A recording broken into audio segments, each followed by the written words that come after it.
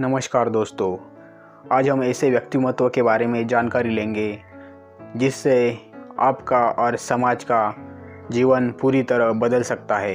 तो चलिए शुरुआत करते हैं आज के वीडियो को। Bell icon on the YouTube app and never miss another update. हम एक ऐसे व्यक्तिमत्व के बारे में जानकारी लेने वाले हैं। उनका नाम है छत्रपति शिवाजी महाराज। इनके बारे में हम सभी ने बहुत कुछ सुना होगा।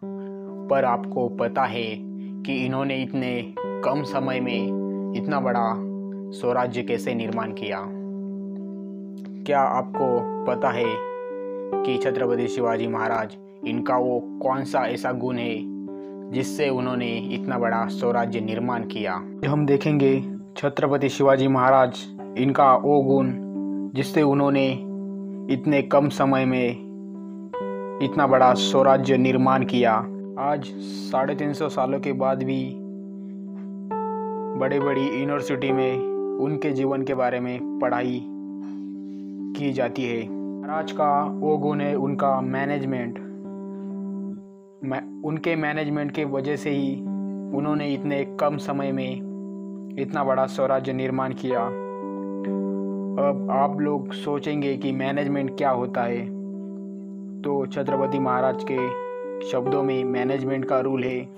Art of getting things done through people by paying them proper remuneration मतलब लोगों से प्रॉपर काम कर लेना और उनको उस काम का पे करना। यह जो प्रॉपर स्किल है, उसे मैनेजमेंट कहते हैं। किसी से ज़बरदस्ती से काम करवाना यह मैनेजमेंट नहीं है। यही महाराज का कहना है।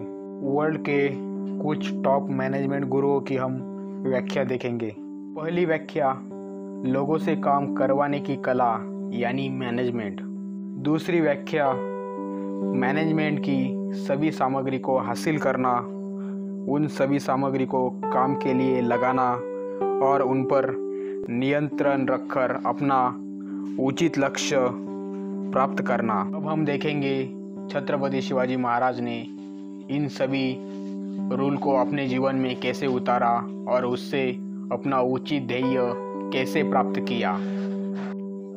पहला rule management is the art of getting thing done through people मतलब है, छत्रपति शिवाजी महाराज ने सभी साधारण लोगों से अपने बड़े बड़े कार्य करवा के लिए और अपने उचित ध्येय को प्राप्त किया। उदाहरण के लिए Tanaji Malusare, Esaji Kank, Suryaji Kakade. Management is a distinct process consisting of planning organizing activities and controlling performance to determine and accomplish stated objective with use of human being and other resources. स्वराज्य स्थापन करने के लिए। जिन घटकों की ज़रूरत थी, उसे अलग अलग तरीके से हासिल करके उसको काम पर लगाया और उस पर नियंत्रण दिया और उससे अपना उचित ध्येय प्राप्त किया। सभी टॉप मैनेजमेंट गुरुओं की व्याख्या महाराज ने 200 साल पहले अपने स्वराज के सपने को साकार करने के लिए उपयोग में लाई। तब इन सभी वर्ल्ड के टॉप मैनेजमेंट गुरु का जन्म भी नहीं हुआ था। मुझे लगता है कि छत्रपति शिवाजी महाराज के जीवन को देखकर ही इन सभी ने अपनी मैनेजमेंट की व्याख्या बनाई होगी। महाराज सोलहवें शतक के हैं तो यह उन्नीसवें शतक की व्याख्या है। उसी कारण लगता है कि इन सभी टॉप मैनेजमेंट गुरुओं ने महाराज के जीवन को पढ़कर अपने बुद्धि का उपयोग करके व्याख्या बनाई होगी। मैनेजमेंट यह सिर्फ़ एक उद्योग समूह के लिए नहीं है। यह सभी उन साधारण लोगों के जीवन को सफल बनाने की नीति है। Fair of common man and national welfare management for all यह छत्रपति शिवाजी महाराज का सबसे बड़ा ध्येय है। इसे हम समझ सकते हैं। हमने देखा, छत्रपति शिवाजी महाराज ने स्वराज स्थापन करने के लिए मैनेजमेंट का कैसा उपयोग किया? अगर वीडियो अच्छा लगे तो लाइक शेयर करें ताकि ये वीडियो किसी का जीवन बदल सकता है। अगर चैनल पर पहली बार आए तो चैनल को सब्सक्राइब करें। धन्यवाद।